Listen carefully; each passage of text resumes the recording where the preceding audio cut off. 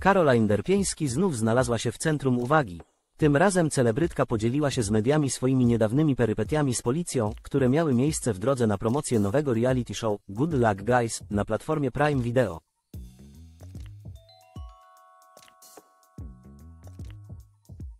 Co spowodowało interwencję policji i jakie konsekwencje spotkały celebrytkę? Caroline Derpieński została zatrzymana przez policję z powodu niezgodności przedniej tablicy rejestracyjnej z obowiązującymi przepisami.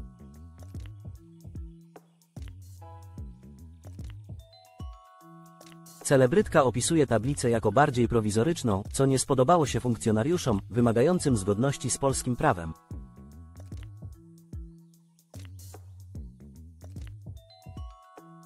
Incydent ten nie tylko opóźnił jej przybycie na imprezę, ale także wywołał frustrację Derpieński, która twierdzi, że spędziła godzinę zamknięta w samochodzie.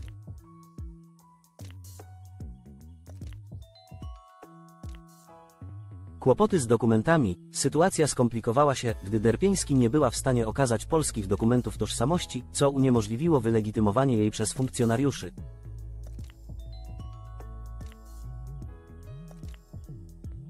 Zdjęcia paszportu, które posiadała, nie wystarczyły, a policja zagroziła odwiedzinami na komisariacie.